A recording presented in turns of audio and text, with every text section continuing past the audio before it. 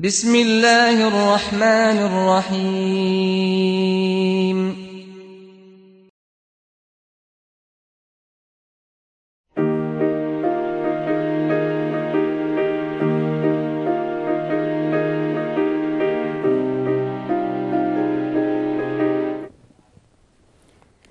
আসসালামু আলাইকুম দর্শক আপনাদের সবাইকে আমন্ত্রণ জানাচ্ছি আহ, আমি আহ, আপনাদের সাথে আছি আহ, খানিজ ফাতিমা আর আমাদের সাথে আছেন ডক্টর ফাতেমা আপু।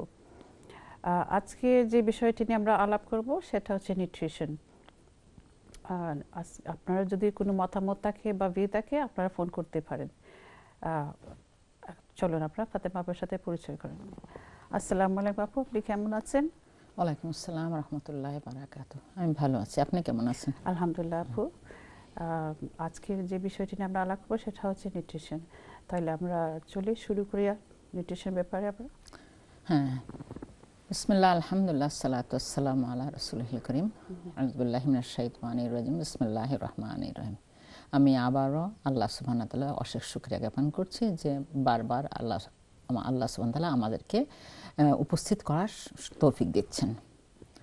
যাই হোক, আজকের যে বিষয়টা নিয়ে আমি আলোচনা করব সেটা হচ্ছে নিউট্রিশন প্রথমে আমি বলি নিউট্রিশন আমরা বুঝি, অনেকেই বুঝি, অনেকেই অতটা বুঝি না নিউট্রিশন বলতে কি বুঝি, সেটা নিয়ে আলোচনা করি। নিউট্রিশনটা হচ্ছে যে জিনিস খাওয়া খেলে আমাদের শরীরে গ্রহণ করলে, আমরা গ্রহণ করলে আমাদের শরীরটা সুস্থ থাকে, সবল থাকে মানে একদম যেভাবে চলার কথা মানে এনাফ এনার্জি পাই, অসুখ বিসুখ মুক্ত থাকি, এটার নাম হচ্ছে নিউট্রিশন তো এই নিউট্রিশন বলতে গেলে বিভিন্ন ধরনের নিউট্রিশন আছে। নিউট্রিশনকে আমরা অনেকগুলো ভাগ করতে পারি।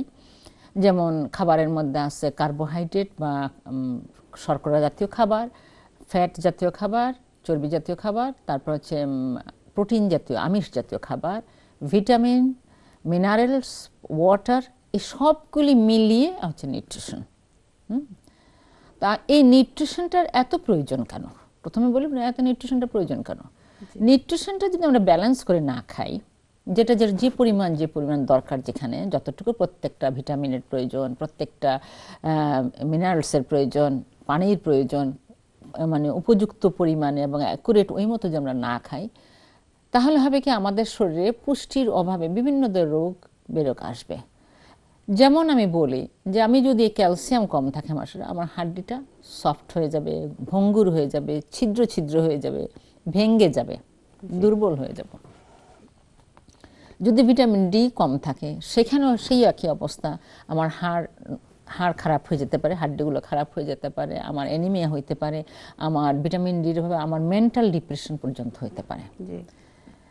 আমি ভিটামিন বি টুয়েলভের কথা যদি বলি বি টুয়েলভ যদি আমি না খাই না থাকে আমাদের আমার নার্ভের যে মানে ব্রেন বা নার্ভের যে মানে পুষ্টি যেটা ছিল নার্ভ যেভাবে ভালোভাবে চলাবে সেটা যদি তার খাবার দাবার না পায় সে নার্ভ শুকিয়ে যাবে নার্ভ ভালো থাকবে না নার্ভ ভালো কাজ করতে পারবে না। আমি যদি ভিটামিন এ খাই, তাহলে আমার চোখে দেখব না রাত কানা হয়ে যেতে পারি, চোখে কম দেখতে পারি ক্যাটারাক্ট হতে পারে আমার চোখের মধ্যে ম্যাকুলার ডিজেনশন চোখের অন্ধ হয়ে যেতে পারি। তো এই যে জিনিসগুলা, তারপরে আয়রন যদি আমি না খাই, তাহলে দেখা যাবে অ্যানিমিয়া হয়ে গেছে হার্টের সমস্যা দেখা দিচ্ছে আমি যদি আবার লবণ বেশি খাই, সেখানে দেখা যাবে আমার ব্লাড প্রেশার বাড়তেছে এই যে জিনিসগুলো আমি দেখতেছি, বা সুগার বেশি খাই, সেখানে আমার ডিপ্রেশন কিন্তু আসছে। বেশি সুগারে কিন্তু আবার ডিপ্রেশন করে। তাই? হ্যাঁ বেশি সুগারে কিন্তু ডিপ্রেশন করে। এবং ডিমেনশিয়া যে রোগটা আমরা ভাবি যে বয়স বাড়লে হয় ডিমেনশিয়া অনেকেই ভুগেন। আজকাল তো আর্লি ডিমেনশিয়া দেখা দিচ্ছে। ভুলে যান মনে থাকে না। কিন্তু অতিরিক্ত সুগারের কারণে ফাইন সুগারের কারণে, কারণে যে তো এই যে জিনিসগুলো আমি বলছি যে এই প্রত্যেকটা জিনিস এখন এই জিনিসগুলো যে আমরা ভিটামিন ইর দরকার আছে। আমার যে ভালো স্কিন চাই সেটা ভিটামিন ইর দরকার আছে। ভিটামিন সির দরকার, আমার ভালো দাঁত চাই, ভিটামিন সির দরকার আছে।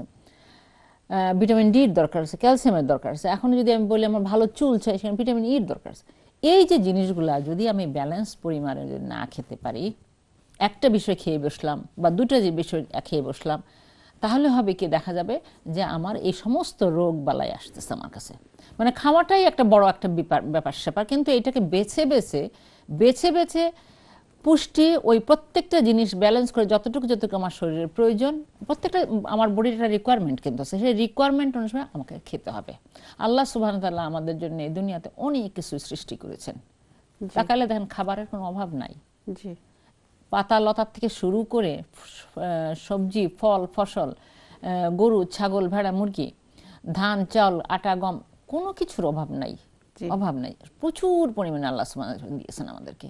কিন্তু সেইগুলা খেতে হবে একটু চিন্তা ভাবনা করে যে কতটুকু প্রয়োজন এবং বেশিও না কমও না। এটা যদি আমরা খেতে পারি তাহলে এই পুষ্টির ধারণাটা আমাদের অনেক কম। আহ, যেটা হচ্ছে কি বর্তমান জমানায় যেটা আসছে বর্তমান সময়ে যেটা দেখা যাচ্ছে আগের দিনে মানুষ কিন্তু অনেকটা আহ, সাধারণ জিনিসগুলো খেয়ে বাঁচত। তাদের মোটামুটি পুষ্টিটা ছিল। খারাপ ছিল না, একদম খারাপ ছিল না। পাতা লতা শাক সবজি এগুলো খেয়েই ছিল। বর্তমান সময়ে এসে মানে আধুনিকের কারণের জন্য ফার্মিংয়ের কারণের জন্য, বিভিন্ন ইন্ডাস্ট্রির কারণের জন্য অনেক জিনিস আমাদের শরীরে বিষাক্ত জিনিস শরীরে ঢুকতেছে। আবার আমরা যা যা পাচ্ছি সামনে তাই খাচ্ছি। আবার এমনভাবে প্রসেস ফুডও আমাদের সামনে চলে আসছে যে খুব ইজি হাতের নাগালে চলে আসছে খেতেও সুস্বাদু দেখতেও ভালো আমরা সেগুলো গ্রহণ করছি। একবারও চিন্তা করছেন এটার পুষ্টিগুণটুকু কতটুকু? এটার ক্ষতিকারক সাইডটা কতটুকু আছে? একবারও কিন্তু ওটা চিন্তা করি না যখন এই জিনিসগুলো আমরা কিনে খাই তখন তো ওগুলোর গায়ে লেখা থাকে না যে এই জিনিসের এই ক্ষতি আছে এই লাভ আছে এই ভালো আছে কিছু লেখা থাকে না। ওখানে চটকদার লেখা আছে খুব টেস্টি রং রং বেরঙের জিনিস দেখতে বড় সুন্দর যেটা আমাদের আকর্ষিত করে আর আমরা সেটার পিছনে ছুটি। রেডি পাওয়া যাচ্ছে। কেন ঝামেলা করতে যাব? সরি তো এই যে আমরা কিন্তু একবার পুষ্টিগুণের দিকে চিন্তা করি না। মানুষ অনেক সময় বুঝে না প্রসেস জিনিসগুলো কি। প্রসেস জিনিসগুলো বুঝি না। হ্যাঁ। প্রসেস জিনিসটা যদি বলি আমি যে প্রসেস অনেক জিনিস আছে তৈরি করে রেখেছে। যেমন সালামি মিট ব্রেড ব্রেড বলব না ঠিক মানে অনেক ধরনের কেক বিস্কিট এগুলো কিন্তু অলরেডি রেডিমেড মিটগুলো বিশেষ করে তারপরে দুগ্ধ জাতীয় জিনিস অনেকগুলো প্রসেস জিনিস আছে রেডিমেড করে রাখা হয়েছে। তো রেডিমেড করে রাখা হয়েছে ভালো কথা এটা তো অসুবিধা নাই কিন্তু কথা হলো রেডিমেড করতে গেলে কিছু প্রিজারভেটিভ দিতে হয়। প্রিজারভেটিভ দিতে হয় কিছু জিনিস স্বাদ বাড়ানোর জন্য কিছু ফ্লেভার কিছু কিছু ধরনের কিছু জিনিস দিতে হয়। কিছু কিছু খারাপ জিনিস আছে যেগুলো স্বাদ বাড়ায় যেমন সোডিয়াম মনোগ্লুটামেট একটা জিনিস আছে একটা ধরনের সল্ট এটা স্বাদ বাড়ায় ঠিক কিন্তু এটা শরীরের নার্ভ নার্ভগুলোকে নষ্ট করে ফেলে। তো এই এই এই জিনিসটা কিন্তু তারা মিশায় মিশায় স্বাদ বাড়ানোর জন্য। তো এই যে আমরা প্রসেস ফুডটা যখন খাই আমরা তো জানলাম গরম করে খেয়ে ফেললাম বা অনেক জিনিস গরম করাও লাগে না কেটেই খাওয়া যায় কোনো অসুবিধা নেই। খাওয়া যায় এগুলো, হ্যাঁ হ্যাঁ। খাওয়া যায় এমনিতেই। বিভিন্ন ধরনের মিট প্রোডাক্টগুলো বিশেষ করে তৈরি করা আছে। সসেজ কি বলব এটাকে? সালামি একটা। হালাল হ্যাঁ, হ্যাঁ, এই সালামি এই টাইপের অনেকগুলো জিনিস আছে। মিট অনেক সময় তৈরি করে একদম প্রিজার্ভ করা আছে প্যাকেট করা আসলে তো প্যাকেটজাত সমস্ত জিনিস প্যাকেটজাত আসতেছে। এগুলোর মধ্যে সবগুলো প্রিজারভেটিভ দেওয়া হচ্ছে। তো এইগুলো খেলে এগুলো তো কেমিক্যাল রিয়েকশনগুলো বডির মধ্যে থাকতেছে আমাদের। এই রবীয় রিয়েকশনগুলো থাকার ফলে আমি ওই ওই খাবার থেকে যতটুকু না আমার পুষ্টিগুণ পেলাম তার চেয়ে বেশি ক্ষতিকারক জিনিস আমার শরীরে চলে আসলো। হুম।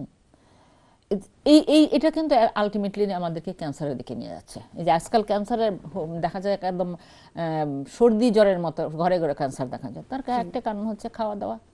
এই যে প্রসেস মিট বিভিন্ন ধরনের কেমিক্যালস আমরা ইনহেল করতেছি। এগুলো তো আজকাল ইউজ এগুলো। তো আমি যেটা বলতেছিলাম যে পুষ্টিতে আমরা যদি খেয়ে যাই পুষ্টিগুণগুলো আমরা যদি যে কোন কোন জিনিসের পুষ্টি কতটুকু আছে কি আছে কোন জিনিস খেলে আমরা এগুলো যদি আমরা একটু বাঁচতে পারি খেতে পারি তাহলে আমার কারণ আমি একটা জিনিস খেয়াল করে দেখছি যে আজকে এই পুষ্টি নিয়ে আমি কথা বলার জন্য বেশি বলছি এই জন্য যে আগামীতে মাসখানেকের মধ্যে আমাদের রমজান চলে আসতেছে রমাদান চলে আসছে। রমাদানে কিন্তু একটা সুবর্ণ সুযোগ আমাদের যে আমরা নিজেকে একটু চেঞ্জ করতে পারি আমরা অনেকটা কন্ট্রোল করতে পারি। কন্ট্রোল কারণ সাধারণত আমরা নিজেকে কন্ট্রোল কারণ আমরা অভ্যস্ত হয়ে গেছি। আমরা খাওয়া দাওয়ায় যেভাবে অভ্যস্ত সেখান থেকে পাল্টিয়ে আমাদেরকে নিজেকে আবার নতুনভাবে তৈরি করা অত সহজ ব্যাপারটা না পারব না। তো রমাদানে অটোমেটিক আমাদেরকে যাতে কন্ট্রোল করতেছে, আমরা খাচ্ছি না। এই সময় যদি আমরা, যদি একটু কন্ট্রোল করার চেষ্টা করি, পুষ্টিগুণটা দেখে দেখে, বেছে বেছে সেই জিনিসগুলা যখন ক্রয় করব, কিনবো যখন, সেই পুষ্টিগুণালা, শাক, সবজি মাছ, মাংস সব দেখে কিনবো এবং পরিমাণ মতো, কোনটার কোন পরিমাণ, সেভাবে আমরা কিনে, তাহলে আমার জন্য একটা সুবিধা হয়। আমরা ওই একটা অভ্যাস আমি বলছি না যে আমরা বাঙালি, যতই বলি না কেন, আমরা খেয়ে অভ্যস্ত। যেভাবে রান্না করে খাই যেভাবে করে অভ্যস্ত এখান থেকে চট করে বললেই তো আমি তাদের মতো হয়ে যেতে পারব না। এটা হওয়া সম্ভব না বললেই হবে না। তবে হ্যাঁ আমি ধীরে ধীরে আমাকে চেঞ্জ করে নিয়ে আসব এবং একটা সুবর্ণেশ্বর সাম- খুব সামনে আমাদের আসে আল্লাহ আমরা একটা সুযোগ দেন। আমরা ততদিন বেঁচে থাকি আমরা এটা কাজ করতে পারি হয়তো ইনশাল্লাহ তো এই এই উদ্দেশ্যেই বলা। তখন আমি যে খাবারের কথা বলছিলাম যে আমি হ্যাঁ আমি যদি কার্বোহাইড্রেট কথা বলি এটা কার্বোহাইড্রেট বা যেটা বলি কার্বোহাইড্রেট বলতে কি বুঝি? আমি বলি আমার চাল গম আটা যেটা আটা ময়দা যেগুলো বলি চিনি রুটি এই সব জিনিসগুলা হচ্ছে কার্বোহাইড্রেট এটা আমার কিছু খেতেই হবে অবশ্যই খেতে হবে। কিন্তু সেখানে আমরা কি খাব? সেখানে আমরা একটু চুজ করব যে কোন জিনিসটা আমাকে আর একটা কথা বলতে বলে গেছি আমি ফাইবার ফাইবার শব্দটা আমি বলি অনেকে বুঝবেন আঁশ জাতীয়।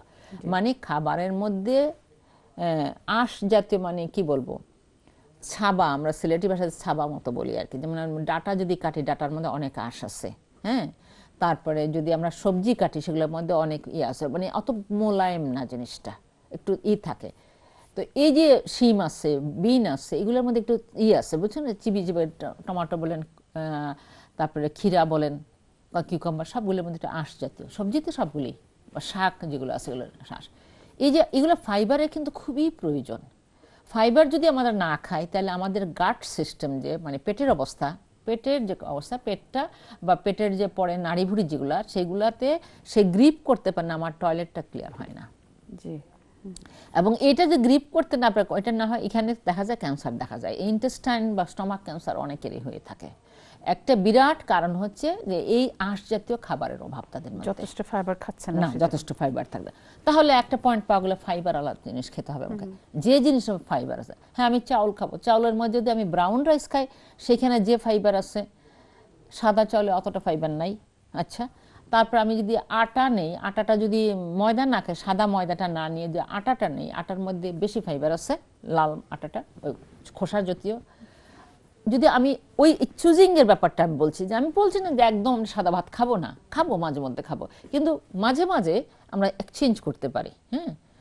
যেমন আমি একটা প্রোগ্রামের কথা আমি বলে, বলেই ফেলি আগে থেকে। আমি একটা প্রোগ্রাম আমি সবার উদ্দেশ্যে বলতে চাই, আমি একটা প্রোগ্রাম অলরেডি রেকর্ড করা হয়ে গেছে রমাদানের জন্য। সেই রমাদানে যদিও সেখানে সিস্টার ভিউ নামে থাকবে না সেটা। রমাদানে সেটা দেখানো স্বাস্থ্য সুরক্ষায় রমাদান। আমি দর্শকের উদ্দেশ্যে বলছি। যে তারা যেন এই স্বাস্থ্য সুরক্ষা রমাদান প্রোগ্রামটা দেখেন ওখানে আমি কিছু ফাইবার বা এই খাবার দাবারের উপরে মানে নিজে রান্না করে কিছু কিছু দিয়ে আমি দেখিয়ে দিছি কীভাবে মানে একটা পুষ্টিকর খাবার তৈরি করা যায় হেলদি খাবার তৈরি করা যায়। হ্যাঁ এটা কিন্তু আমি একটু দেখিয়ে দিছি। সবাই যদি এটা লক্ষ্য করে রামাদানে তাহলে অনেকটা শিখতে পারবে- পারবেন। আর যেটা আমি বলছিলাম যে এখানে তাহলে আমি ওই খাবারগুলো যে পছন্দ করি মাঝে মাঝে হ্যাঁ? ইভেন এটা বলছিলাম যাও রান্না করতে যা যাও খাব সাদা চাউল দিয়ে না খাই সেখানে কিছু গমও যদি দেই তাহলে ফাইবারটা গেল। এবং। ফাইবার গমের মধ্যে প্রোটিনও আছে কিছু। এখন কথা তার সেকেন্ড পয়েন্ট হচ্ছে যে আমি খাবার যখন এই কার্বোহাইড্রেটের মধ্যে শাক সবজি সব কিছুর মধ্যেই এমনিতেই আল্লাহ সুবান তালা কিছু কার্বোহাইড্রেট কিছু ফ্যাট কিছু কি বলে এটাকে প্রোটিন আছেই। অলরেডি আছে তাদের মধ্যে অল্প সব কিছুর মধ্যে আছে কেউ যে একা না কিছু কিছু যখন আমি খেতে যাচ্ছি তখন আমি দেখব যে যেটার মধ্যে একটু প্রোটিন বেশি আছে হুম, সেটা যে আমি খাই তাহলে আমি যেটা প্রোটিন ছাড়াই যে সবজিটা ছিল আর যেটা প্রোটিন এলার তাহলে আম, কি বলব গাছ জাতীয় গাছ থেকে হ্যাঁ গাছ থেকে মানে অ্যানিমেল জাতীয় না গাছ জাতীয় থেকে আমি সেটা কি পেলাম? আমি একটা প্রোটিন পেলাম। এটা কিন্তু আমার একটা সেফ সাইড আমি প্রোটিন যখন অ্যানিমেল থেকে যখন আনতে যাচ্ছি মানে মাছ, মাংস, ডিম, এগুলোর মধ্যে কিন্তু কোলেস্টেরল আসার সম্ভাবনা রয়ে গেছে। হুম? তখন আমি কিছুটা যেমন বিন, ডাল ডাল আছে, বিন আছে কি যারা বলে স্পিনিচ আছে, এগুলো প্রচুর পরিমাণে প্রোটিন আছে কিন্তু। এইসব সবজি যদি আমি পছন্দ করি, তাহলে আমার কিছু প্রোটিনের অংশটাও সেখান থেকে আসলো। ফাইবারও থাকল প্রোটিন এভাবে চুজ করতে হবে আমাকে, কি কোনটা নেব আর কোনটা নেব না। তো এখন যদি আমি মাছ, মাংস নেই মাছ মাংসের মধ্যে হ্যাঁ মাছ মাংস অবশ্যই আমাকে নিতে হবে। কিন্তু আমি আগে বলছিলাম কার্বোহাইড্রেট নিতে মাছ মাংস। মাছ মাংস অবশ্যই খেতে হবে প্রোটিন লাগবে। কারণ আমার শরীরের যে মাসুলগুলো আছে, সব সময় শরীরের মাসুলগুলা ক্ষয় হচ্ছে কিন্তু। সবসময় কিছু না কিছু ক্ষয় হচ্ছে। এই ক্ষয় যেটা হয় স্বাভাবিকভাবে ক্ষয় হয়। এই ক্ষয়টা পূরণ করতে গেলে আপনাকে কিছু প্রোটিন খেতে হবে। এই মাসুল জাতীয় জিনিস কিছু খেতে হবে। তার মানে আপনাকে মাছ বা মাংস জাতীয় কিছু খেতে হবে ডিম খেতে হবে দুধের মধ্যে আছে প্রোটিন এই প্রোটিনগুলো লাগবে। শিমের মধ্যে আছে তারপরে যে ডাল জাতীয় যত বিচি জাতীয় যত সব কিছুর মধ্যে আছে প্রোটিন। এগুলো আমাকে- হ্যাঁ, হ্যাঁ। আমাকে খেতে হবে। ওটা আমাকে ব্যালেন্স করতে হবে। তাই বলে আবার বেশি না। এক টুকরা মাছ এক টুকরা মাংস ডেলি আমার দরকার। মাছ যদি না খাই মাছ যে খেতেই হবে এমন কথা মাংস খেতে না। আমি ডাল খেতে পারি ডাল খেলেও হবে। একদিন আমি ডালও খেলাম অসুবিধা নাই। বেশি করে ডাল রান্না করলাম। চানা ছোলা এগুলো খেতে পারি কোনো অসুবিধা নাই। সবগুলোর মধ্যে প্রচুর পরিমাণে প্রোটিন আছে। আর যখন আমরা এই মাংস বা মাছ যখন নেব তখন সেখানে অবশ্যই আমরা এটা খেয়াল করব যে মাংসের মধ্যে যেন চর্বি না থাকে। কেননা চর্বিতে দোষের কিছু ছিল না। আজকালকার এরা যেভাবে ফার্মিংয়ের গরু ছাগলগুলো যেভাবে মানে খাওয়ানো হচ্ছে এতে এত চর্বি এত চর্বি যেটা অতিরিক্ত চর্বি, এবং এই চর্বিগুলো যখন হাই কোলেস্ট্রল আমাদের খাবারের সাথে যায়, তখন আমাদের কোলেস্ট্রল ঢোকে শরীরে। আর কোলেস্ট্রল ঢোকা মানে কি? হচ্ছে কি আমাদের স্ট্রোক হওয়ার সম্ভাবনা হার্টের প্রবলেম হওয়ার সম্ভাবনা আছে ব্লাড প্রেশার বাড়ার সম্ভাবনা আছে সব কিছু বাড়তে শুরু করে। তো আমার হার্ট হার্টের প্রতিবন্ধী হয়ে যায়, সুতরাং আমরা এটা এই দিক থেকে বেছে নিব। মাছটা আচ্ছা মাছটা নিতে পারি। মাছের মধ্যেও কোনো প্রবলেম ছিল না। ইদানিং মাছের মধ্যে কিছু চাষ করা মাছ দেখা যাচ্ছে, চাষ করা মানে আবার সে বিভিন্ন ধরনের ভিটা হরমোন আছে, বিভিন্ন ধরনের ওষুধ আছে অ্যান্টিবায়োটিক তারা দিচ্ছে যেগুলো অটোমেটিক আমাদের শরীরে ঢুকতেছে, যেগুলো আমাদের শরীরের ক্ষতি করছে। তো এই জন্য যদি আমরা ন্যাচারাল ফিশ যদি পাই, যা কিছু পাই ন্যাচারাল ফিশের মধ্যে আমি আগেও বলছি যে সাগরের মাছগুলি ভালো, যেমন সার্ডিন ম্যাকরেল তারপর হচ্ছে হ্যারিং হ্যারিংটা খুবই ভালো। আরও কিছু আছে ফিশ বিভিন্ন ধরনের। সিব্রিম সিবাস এগুলো। সিবাসের মধ্যে একটা সমস্যা আজকাল থাকে সিবাস আজকাল কিন্তু চাষ করা কিন্তু। এটা খেয়াল করবেন। আর হ্যাঁ সিবাস আসলে চাষ করা আসছে আর প্লাস এটাও চাষ করা চলে আসতেছে এটা কি যেন বলে? সামন সামন হ্যাঁ। তো তবু আমি বলব এরা চাষ করা হলেও আমাদের দেশের চাষ করার থেকে একটু কন্ট্রোল এদেরটা। এদেরটা তবু একটু কন্ট্রোল আমাদের তো কোনো কন্ট্রোল নেই। কী দিয়ে খাওয়ায় বড় করছে কোনো কন্ট্রোল নেই। আমাদের বলতে মায়ানমার বা যে কোনো কান্ট্রি বলেন বাহির থেকে যেগুলো আমাদের দেশি মাছ আসে সুতরাং এগুলো চিন্তা ভাবনা করে একটু খেতে হবে। দ্বিতীয় ডিম, ডিমের মধ্যে ডিম যারা খাবেন, ডিমের মধ্যে আমি আমি বলব ফ্রি রেঞ্জ ডিম যেগুলো আছে। অনেকে বাজারে কিন্তু সস্তায় ডিম খোঁজেন। সস্তায় কেজ ডিম খাবেন না। কেজ ডিমের মধ্যে এখানে এদেরকে বসায় মুরগিগুলোকে বসে কেজের মধ্যে ডিম পাড়ে তাদেরকে বসায় রাখে তাদেরকে হরমোন দিয়ে বড় করা হয় এগুলো কিন্তু ভালো না। ফ্রি রেঞ্জ আর অর্গানিক পেলে তো খুবই ভালো অর্গানিক একটু বেশি দাম। কিন্তু ভালো জিনিসটা খাওয়া ভালো। কারণ এগুলোর মধ্যে এখন আমি যেটা বললাম ফ্যাট ফ্যাটেরও তো কিছু প্রয়োজন আছে। আমি বলছি না যে না। সেই ফ্যাটটা হতে হবে কোলেস্ট্রল মুক্ত। কোলেস্ট্রল মুক্ত যে আমি ন্যাচারাল বাটার আমি পাই ন্যাচারাল বাটার পাই যেটা ঘাস খেয়ে ঘাস গ্রাস ফেড কোনো গরু ছাগল তার দুধ থেকে যদি বাটার হয় দুধ হয় সেটার মধ্যে কিন্তু গ্রাস ফেডের মধ্যে কিন্তু আমার কোলেস্ট্রলটা সংখ্যাটা কম। এবং সেখানে আমি আগেও অনেকবার প্রোগ্রামে বলেছি যে কি বলে ওমেগা থ্রি ওমেগা থ্রি প্রচুর পরিমাণে সেইটা কিছু অল্প। আমি বলছি না বাটার বেশি খেতে হবে বাচ্চাদেরকে দিতে হয় তো বাটার। বাচ্চাদের ক্ষেত্রে দিতে হয় তাদেরকে কিছু দেওয়া যায়। ট্রান্সফ্যাট যে ফ্যাটগুলোকে আমরা বলি মানে ডালডার মতো বা ঘিয়ের মতো স্প্রেড আজকাল দেখা যায় মানে বাটারের মতো লাগে। কিন্তু এগুলো কিন্তু আসলে বাটারও না এগুলো কিন্তু তেল। তেল, বিভিন্ন ধরনের তেলকে এটাকে এমনভাবে ফেটিয়ে এগুলো ঘন করে নেওয়া হয় মেশিনে যেগুলো দেখতে খেতে মানে ক্রিমি লাগে। এইগুলো কিন্তু খুব খারাপ শরীর তার মধ্যে কি স্প্রেড একটা জিনিস সেটা হতে পারে? স্প্রেড হ্যাঁ স্প্রেড একটা তো হতেই পারে। যদি ট্রান্সফ্যাট থাকে ওই দিন ওইটা ওটা খাওয়া না খাওয়াই ভালো। কারণ এটা আমাদের মুখে তারা কোম্পানিগুলো বের করতেছে তারা ভাবতেছে বাটার তো খাবে না তাই এটা দিই। কিন্তু এইটা চেয়ে বাটার বেটার বেটার বেটার তো এই ট্রান্সফ্যাটটা কিন্তু শরীর এটা কিন্তু গলে না এগুলো কিন্তু লেগে থাকে। এই রগের মধ্যে বা কি বলে শিরার মধ্যে লেগে থাকে যায় না। এটা এটা স্টপ করতে হবে এটা বেছে খেতে হবে। অনেকে খেয়ে থাকি আমরা পরোটা টরোটা বাজারে যেগুলো পাওয়া যায় বিভিন্ন কেক বিস্কিটের মধ্যে কিন্তু ট্রান্সফ্যাট প্রচুর পরিমাণে আছে। আমি দেখি না কিন্তু অলরেডি তারা দিয়ে তৈরি করছে। দিয়ে তৈরি করেছে। এই জিনিসগুলো সুইট জাতীয় জিনিসগুলো কম খেতে হবে হ্যাঁ? আর একটা কথা হচ্ছে চিনির ব্যাপারে। চিনির ব্যাপারে আমি বলি চিনিটা চিনিটা যদি খেতেই হয় আপনাদের তো ব্রাউন সুগার খান।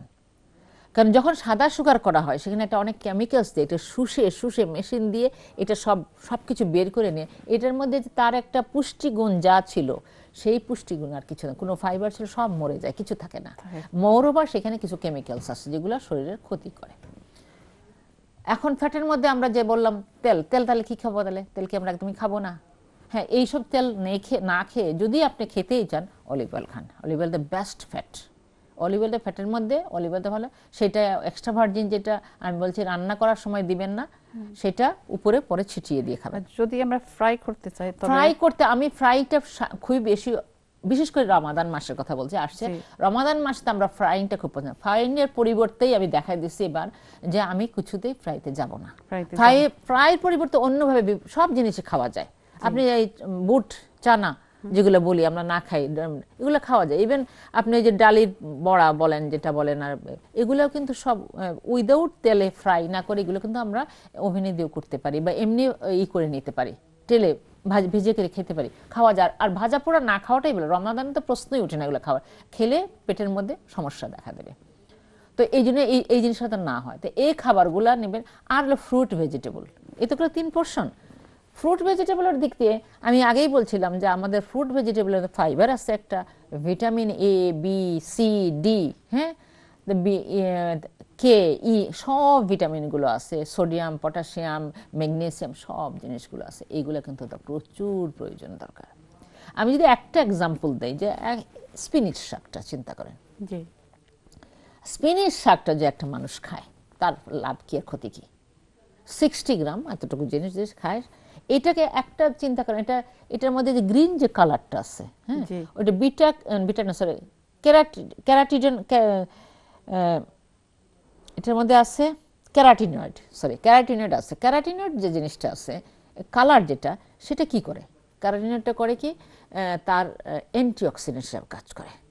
আপনার শরীরে বিভিন্ন ধরনের বিভিন্ন কিছু যে আপনি যেগুলো খা- খেলাম সেখান থেকে কিছু রিয়াকশন হয়ে শরীরের মধ্যে রিয়াকশন হয়ে কিছু রেডিকেল ফ্রি রেডিকেল বের হয় বডির মধ্যে।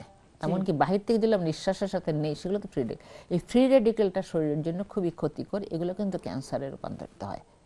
এবং বয়সও বেড়ে যায় অনেকের বয়সে বুড়িয়ে যায় হ্যাঁ? কিন্তু দেখেন এই স্পিনিচটা যদি সিম্পল স্পিনিচটা যে একজন মানুষ খায় সে এই স্পিনিচটা কি করে? এই অ্যান্টি রেডিকেলের সাথে কাজ করে এগেনস্টে কাজ করে এটা কমিয়ে দেয়। তাহলে যারা এই শাকসবজি খায় গ্রিন সবজি খায় তাদের স্কিনটাও ভালো থাকে চেহারাটাও বয়সের দিক দিয়ে অনেক কম লাগে। তাড়াতাড়ি বুড়ো হবে না কিন্তু। বয়সটাও কম লাগবে। যত বয়স তাতে আরও কম লাগে তাদের ফেস অনেক ইয়াঙ্গার লাগে। চোখের ব্যাপারটা বলি ভিটামিন এই স্পিনিশে প্রচুর পরিমাণে ভিটামিন এ আছে যেটার জন্য হ্যাঁ চোখ ভালো থাকে তার আজকাল প্রায় দেখা যায় চোখে ছানি পড়ে মানুষের। চোখে ছানি পড়বে না।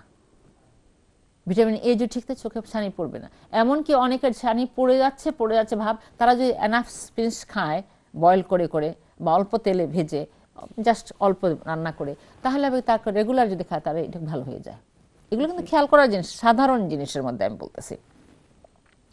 তারপর তো আসে এর মধ্যে সোডিয়াম পটাশিয়াম আছে ক্যালসিয়াম আছে ফলিক অ্যাসিড আছে। বিশেষ করে যারা বলি, যারা প্রেগনেন্ট মহিলা আছেন, তাদের স্পিনিচ খাওয়া খুব প্রয়োজন। কেন ফলিক অ্যাসিড ফলিক অ্যাসিড যদি প্রয়োজন এনাফ মতো না যায়, বাচ্চা কিন্তু ডিফর্মড হয়তো হওয়ার সম্ভাবনা থেকে যায়। বাচ্চার মধ্যে ডিফর্মিটি দেখাতে পারে ফলিক অ্যাসিড। এগুলো একটা গেল আয়রন আছে, প্রচুর পরিমাণে আয়রন আছে, যাদের রক্ত মানে আমাদের শরীরের দরকার, রক্তের দরকার। রক্ত যদি আমার রেড ব্লাড সেল যদি না থাকে হিমোগ্লোবিন না থাকে তাহলে আমি নিঃশ্বাস নিতে পারব না। আমার নিঃশ্বাস না নিতে পারলে আমার আমি দুর্বল ফিল করব হ্যাঁ? আমি চলতে পারব না। তো আমার এই প্রচুর অক্সিজেন কে নিয়ে যাবে? হিমোগ্লোবিন সেই হিমোগ্লোবিনের খাবার কি? সে কি খেয়ে বাঁচে? সে খেয়ে বাঁচে আয়রন সো আয়রন যে খাবারগুলির মধ্যে আছে সেই খাবারগুলি নিতে হবে। যেমন কচু শাক আছে লতি আছে বেগুন আছে পেয়ারা আছে তারপরে হ্যাঁ আপনি একটা জিনিস খেয়াল করেন যে জিনিস কাটলে পরে কালো হয়ে যায়। আয়রন আছে অ্যাভোকাডোর মধ্যে আছে আপনি কলার মধ্যে কলা কেটে রেখেন হ্যাঁ, আপেল কেটে রাখেন কালো হয়ে যায় একটু তার কারণ কি? আয়রন আছে সেটা। তো এই যে আয়রনগুলি যদি আমরা না খাই তাহলে কি হবে? তাহলে তো আমরা আমরা এই এনিমিকে ভুগার এনিমিকে ভুগাত কিন্তু সোজা কথা না। এনিমিকে ভুগলাম ভুগলাম তার সাথে সাথে এটা কিন্তু স্লোলি স্লোলি আমাকে কি করল? আমার পুরা হার্ট সিস্টেমটাকে হার্টটাকে নষ্ট করে ফেলবে। তাহলে সবকিছু হার্ট ফেলিয়ার হয়ে যাবে এখান থেকে হার্ট ফেলিয়ার আস্তে আস্তে হার্ট ফেলিয়ারে চলে গেলাম। কিন্তু এটা কিন্তু একদিনে ঘটে নাই কয়েক বছর ধরে আমি এই কাজটা করতেছি। আমি কেয়ারলেস আমার যে খেতে হবে এটা কোনো খেয়াল নাই। আমি চলতেছি চলতেছি। চলতে পারতেছি অসুবিধা কি? অসুবিধা কি? কিন্তু এটাকে তো আস্তে আস্তে যে এত ক্ষতি করে ফেলি মেন্টাল যদি স্ট্রেস থাকে বডির মধ্যে হ্যাঁ? অক্সিডেটিভ স্ট্রেস হচ্ছে সেটা যদি না এটাও কমায়।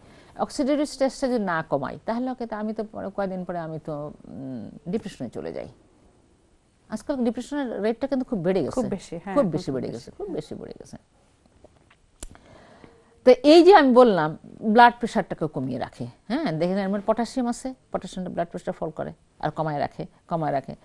এক্স্যাক্টলি যদি আমি বলি এখন ফ্রুটের মধ্যে যাই কিছু ফ্রুট চিন্তা করি যেমন স্ট্রবেরি ব্লুবেরি রেসবেরি কত বেরি আছে হ্যাঁ? ব্ল্যাকবেরি কত বেরি এই বেরি শব্দটা ইভেন আমাদের দেশে তুত বলতো।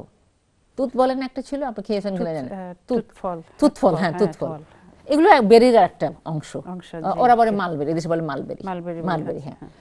এই যে বেরি যেগুলো, এগুলোর মধ্যে প্রচুর অ্যান্টিঅক্সিডেন্ট আছে আর প্রচুর ভিটামিন সি আছে। ন্যাচারাল এগুলো রান্না করতে হয় না। এই ভিটামিনটা তো গিলে ফেললাম, খেয়ে ফেললাম, কাঁচা ধুয়ে খেয়ে ফেললাম, রান্না করতে হয় না।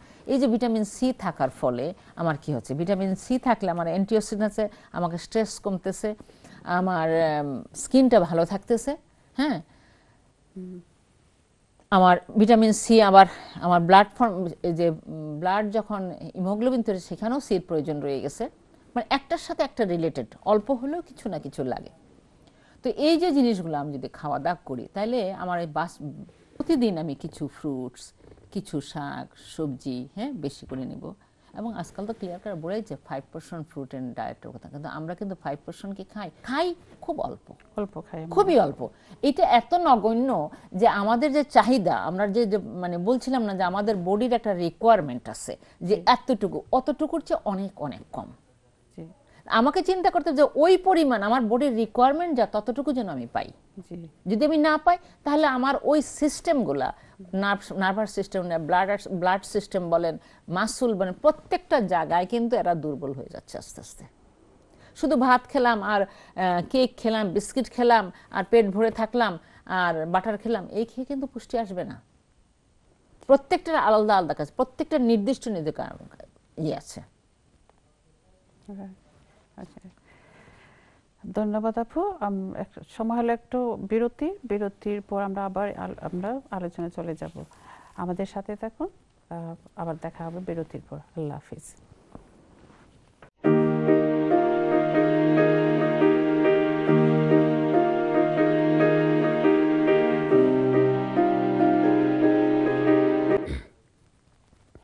আসসালামু আলাইকুম দর্শক, আবারও আমন্ত্রণ জানাচ্ছি বিরতির পর। আজকের যে টপিক নিয়ে আমরা আলাপ করেছিলাম সেটা হচ্ছে nutrition today's topic is nutrition all about food to eat and what is nutrition food. Uh, thank you for watching. And so shall we start again? তো আমরা আবার ফিরে এলাম আমাদের কথায়।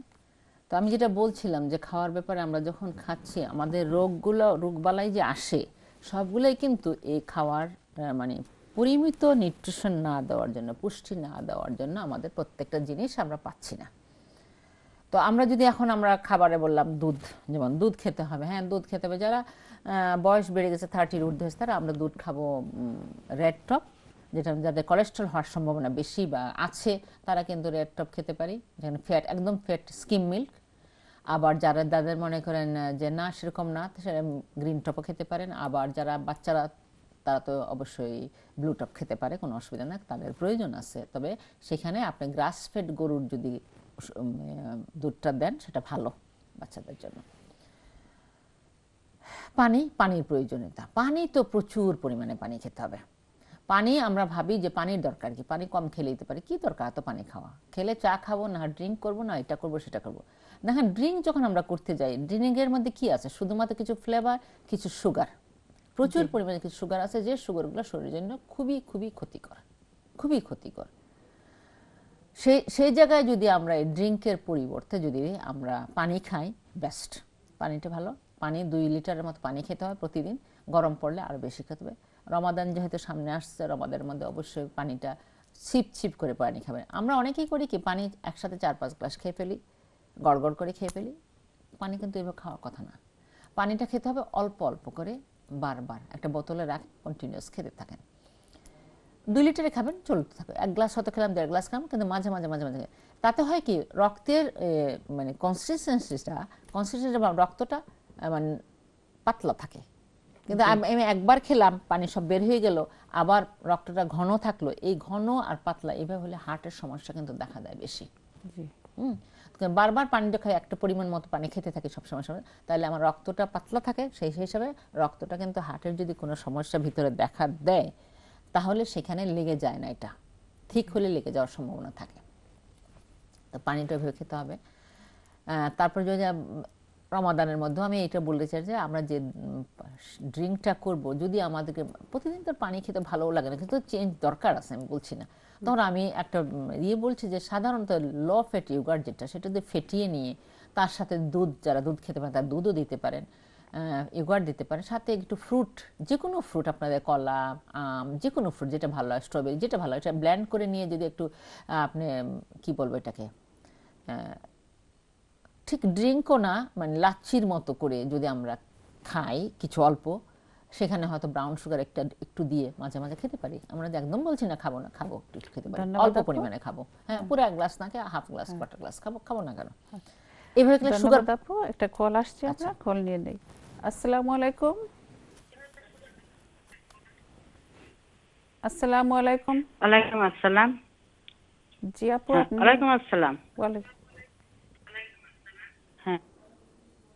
আ- আপ- হ্যাঁ আপনার টিভি ভলিউমটা একটু অল্প করে ফেলুন প্লিজ। হ্যাঁ হ্যালো। হ্যালো হ্যাঁ আপনাকে শুনতে পাচ্ছি। হ্যাঁ হ্যাঁ শুনতে পাচ্ছেন। আমার এই যে ই হয়েছে এক এক বছরে তিনবার প্রস্রাবের ইনফেকশন হইল এবং এখন আবার বাথরুমেরও সমস্যা মানে বাথরুম হয়ই না এখন ডাক্তার আমার একটা ব্লাড চেক দিচ্ছে ব্লাড চেক করে আমাকে নাকি ক্যামেরা দিয়ে দেখবে পায়খানা রাস্তায় কি হয়েছে হুম এখন ক্যামেরাটা কি ভিতরে ঢুকাবে না কেমনে দেখবে? আর যে যে তিনবার ইনফেকশন হলেও আমার ডায়াবেটিস প্রেশার সবই আছে। তা এখন এটা কি? আপনার ইনফেকশন কোথায় হয়েছিল? হ্যাঁ? ইনফেকশনটা কিসের মধ্যে ছিল? তিনবার বললেন ইনফেকশন হয়েছে। ইনফেকশন ও প্রস্রাব প্রস্রাব প্রস্রাবে আছে হ্যাঁ প্রস্রাবে। আছে হ্যাঁ, তিনবার হলে এক বছরে তিনবার ইনফেকশন হলো। হুম। পারে। অ্যান্টিবায়োটিক খাইছি। হ্যাঁ, হ্যাঁ। হ্যাঁ। হ্যাঁ। আপনি যে অ্যান্টিবায়োটিকটা খেয়েছেন শুনেন আমার একটা কথা মাঝখানে জিজ্ঞেস করে আপনি অ্যান্টিবায়োটিক খেয়েছেন এটা কত ঘণ্টা কীরকম খাওয়ার নিয়ম ছিল কীরকম? প্রথমে তো দিছিল প্রথমে যখন তিন বছর আগে একবার হয়েছে তখন দিছিল দুইটা করে। আচ্ছা। দুইটা করে তিনবার। আচ্ছা। তিনবার। হুম হুম। তারপরে আবারও হয়েছে এক বছর আগে ওইটাও দুইটা করে তিন দিন। আচ্ছা। হ্যাঁ আবার ওই যে ইয়ার মধ্যে এক সপ্তাহ ধরে এখন আবার একটা করে দুই বেলা। সকালে একটা বিকেল একটা। বিকেল একটা। আপনাকে আমি একটা কথা বলি এই একটা টাইমটা দুই বেলা বললে যদি বলে আপনি বারো ঘণ্টা ডিফারেন্স করে খাবেন।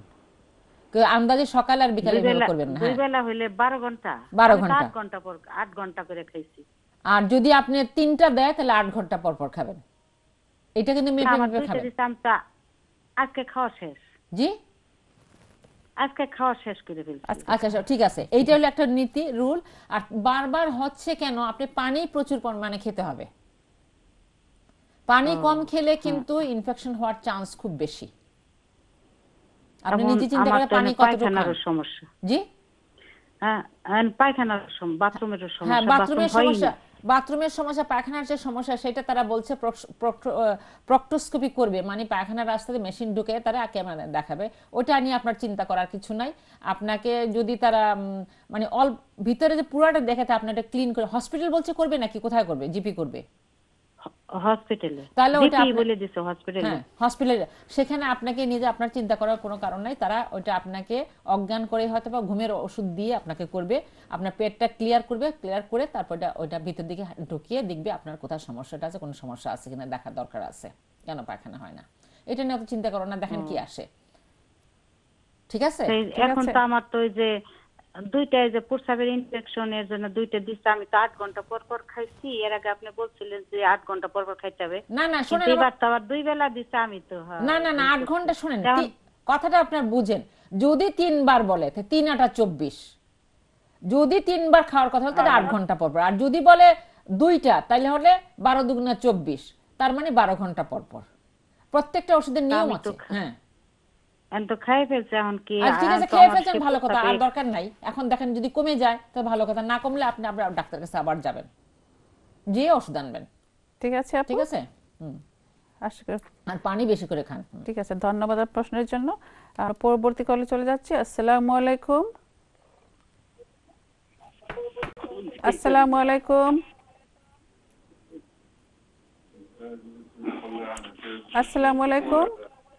ওয়ালাইকুম আসসালাম আসসালামু আলাইকুম। ওয়ালাইকুম আসসালাম। আপনি স্টুডিওতে আছেন? জি আমি ফাতেমা ফারে একটা জিনিস দেখাইতাম আসলাম। আচ্ছা, বলেন উনি শুনতে পাচ্ছেন। হ্যালো আসসালামু আলাইকুম ওয়ালাইকুম ফাতেমা সালাম আপা। বলেন আপনি আমি শুনতে পাচ্ছি বলুন। জি আমার অটো আর্থাইটিস আছে। হুম হুম, আমি ওমেগা থ্রি খাইতেছি। ওমেগা থ্রি কিতা কি পরিমাণ ফায়দা করে আর্থাইটিসের আচ্ছা। আপনার আচ্ছা। আর ফুলাও থাকে আপা চাও আমার নি প্রবলেম আর কি বহুত বছর ধরে নি প্রবলেম আর অনেক কোকোডমাল খাইলাম পেন কিলার ওমেগা খাইতেছি। কমে না খুব বেদনা থাকে সব জয়েন্ট থাকল জয়েন্টে এটা কি রিমোটের আর্থ্রাইটিস পাইছে নাকি তারা? না? জি জি।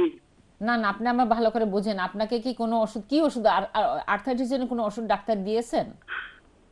না কোনো ওষুধ দেয়নি। না না তাহলে ওটা না।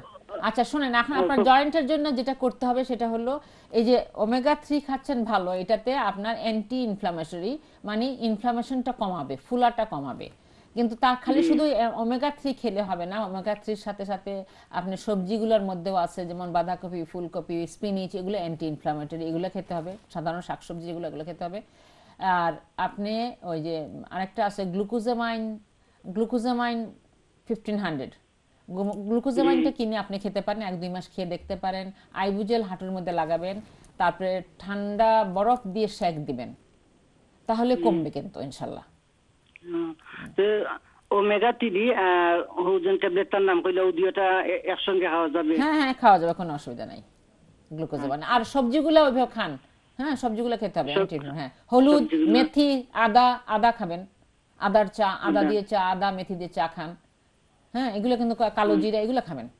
মেথি এগুলো খুব অ্যান্টি ইনফ্লামেটরি সবগুলি রেগুলার খান দেখবেন খুব বেশি থাকে হ্যাঁ মেথিটা মেথিটা খান সকাল প্রতিদিন সকালে মেথিটা ভিজিয়ে পানি খান দেখবেন অনেকটা কমে যাবে মে- মেথি ভিজিয়ে মেথি জি মেথি ভিজিয়ে পানি খাবেন। আর মেথি আদা একসঙ্গে দিলে ঠিক আছে? হ্যাঁ কোনো অসুবিধা নেই তাতে অসুবিধা নেই খেতে পারেন আপনি। আচ্ছা। জি। ঠিক আছে আপু। ওকে ওকে আসসালামু আলাইকুম। উত্তর পেয়েছেন ধন্যবাদ আপনার প্রশ্নের জন্য। আমরা পরবর্তী কলে চলে যাচ্ছি। আসসালামু আলাইকুম। ওয়ালাইকুম সালাম আসসালামু আলাইকুম। ওয়ালাইকুম আসসালাম। আপু আপনি স্টুডিওতে আছেন? আমি যা- আমার কাছে ফোন হচ্ছে ডাক্তার আমার কাছে। হ্যাঁ, জি বলুন আমি শুনতে পাচ্ছি। আপনি শুনতে পাচ্ছেন বলুন আপনি। আমার দিও নাই ডাক্তার হয়েছে কোলেস্ট্রল বেশি আপনার। হ্যাঁ আর খিচনির মাঝে কিটা করে কম বলে। সেইটার কিটা করা হয়েছে। পটাশ বেশি? কম খিচনিত কি বলুন? পটাশ পটাশিন কিটা কম কম। পটাশিয়াম পটাশিয়াম বেশি? কম। কম না বেশি? কম কম কম। পটাশিয়াম কম। আচ্ছা। আচ্ছা পটাশিয়াম কম হলে আপনাকে পটাশিয়াম যেটার মধ্যে আছে সেটা খেতে হবে। যেমন পটাশিয়াম আহ, আছে আপনার স্পিনিচের শাক। আর যেটা স্পিনিচের কথা বলছিলাম স্পিনিচের মধ্যে আছে পটাশিয়াম অরেঞ্জের মধ্যে পটাশিয়াম আছে খেজুরের মধ্যে পটাশিয়াম আছে পটাশিয়াম আছে আপনার আমের মধ্যে আছে পটাশিয়াম আছে আরও কিসে বলব? খলার মধ্যে আছে। কলার মধ্যে আছে প্রচুর কলার কলার মধ্যে আছে। আপনি এইগুলো অল্প অল্প করে খাবেন পটাশিয়াম। হুম বাদামের মধ্যে পটাশিয়াম আছে হুম এগুলোর মধ্যে আছে এগুলো আপনি খাবেন কিছু। আর পটাশিয়াম জি কোলেস্ট্রল। কোলেস্ট্রল বেশি বললে আপনি কোলেস্ট্রল যেহেতু বেশি প্রথম কথা আপনাকে হাঁটতে হবে খাওয়ার মধ্যে আপনি বেছে বেছে খাবার দরকার। হয় যে বললাম না, তেল তেল খাওয়া একদম বন্ধ করে দেন আপনি। একদম বন্ধ তেল। তেল ছাড়া রান্না করে খান। মাংস মাংস যদি খান, মাংস খাইলে আপনি ওই ভেড়ার মাংস খাবেন না। আপনি মুরগির মাংস খাবেন। এবং চর্বি ছাড়া চর্বি ছাড়া। চর্বি ছাড়া মুরগির মাংস খাবেন, মাছ খাবেন। হুম, চর্বিগুলো খাবেন না, তাহলে কোলেস্ট্রল কম থাকে। আর ফ্রুট ভেজিটেবল বেশি করে খাবেন। পরোটা বিস্কিট, তারপরে কেক, এগুলো কিছু খাবেন না। ক্রিম জাতীয় কোনো জিনিস না। দুধ যেটা খাবেন দুধ যদি খান আপনি দুধে চা খান সেখানে সেখানে স্কিম মিল্ক মানে একদম ফ্যাটলেস। ইয়োগার্ট খেতে পারেন অবশ্যই ইয়োগার্ট যদি খান সেটা ফ্যাটলেস, একদম ফ্যাট, জিরো ফ্যাটের ইয়োগার্ট পাওয়া যায়, জিরো ফ্যাটের দুধ পাওয়া যায়, এগুলো খেতে পারেন আপনি। তাহলে কোলেস্ট্রলটা কমে যাবে কিন্তু। শাকসবজি বেশি করে খান, তেল ছাড়া শাকসবজি রান্না করেন, শাকসবজি এমনি একটু হালকা পেঁয়াজ রসুন রসুন, তারপরে কাঁচামরিচ দিয়ে গরম করে রান্না করেন। তেল ছাড়া রান্না করেন। আমার দেশে যে গ্রাম দেশে আগে যেভাবে রান্না করতো সেভাবে রান্না করে খান। এটা স্বাস্থ্যের জন্য খুবই ভালো। আপনার কোলেস্ট্রল কমে যাবে ইনশাল্লাহ ঠিক আছে আপু আশা করি আপনি উত্তরগুলি পেয়েছেন।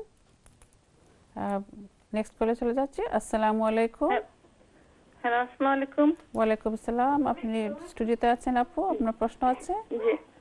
জি আমার একটা প্রশ্ন আছে যে আমার ভিটামিন ডি খালি লো হয়ে যায় কিন্তু এই জিনিসটা কোনো জিনিস খাইলে কোনটা কি আর বাড়া বাড়বো না এমনি অন্য কোনো পদ্ধতি নেওয়া লাগবে।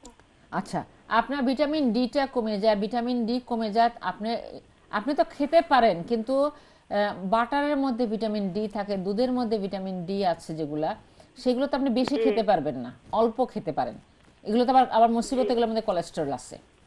তো এই জন্য ভিটামিন ডিটা আপনি কিনে খাবেন। ভিটামিন ডি যেহেতু এত শর্ট আপনার এই খাবারে ফায়দা হবে না। এই খাবারের চেয়ে ফায়দা হবে আপনি যদি কিনে ডাক্তার নিশ্চয়ই আপনাকে ভিটামিন ডি দিবেন। কিন্তু একটা প্রশ্ন আছে ভিটামিন ডি যখন আপনি খাচ্ছেন তখন কিন্তু আপনি রোদের মধ্যে যেতে হবে। আর রোদে গিয়ে আপনার হাত পাটা একটু খুলে রোদের মধ্যে রাখতে হবে। প্রতিদিন যদি আধা ঘণ্টা আপনি রোদে বসেন রোদ খান তাইলে ভিটামিনটা কাজ করে। আর নতুবা আপনার ভিটামিন ডি কাজ করবে না কিছুতেই কাজ করবে না। তারপর আরেকটা কথা বলি, অনেক সময় ভিটামিন ডি তারপরেও কাজ হয় না, সেখানে কমে গেলে আপনাকে আরেকটা ট্যাবলেট ওনার ডাক্তার আপনাকে, আপনার জিপি আপনাকে দিবেন, সেটা হচ্ছে রেসিড্রোনেট অ্যাসিড। সেটা সপ্তাহে একটা ট্যাবলেট, সেটা খেয়ে সকালবেলা খেয়ে যদি আপনি খান, প্রতিদিন সকালে এক ঘণ্টা বসে থাকবেন, আর তারপরে ভিটামিন ডি গুলো প্রতিদিন খান, তাহলে সেটা রক্তের মধ্যে ঢুকতে পারে। এই দুইটা কারণ হতে পারে।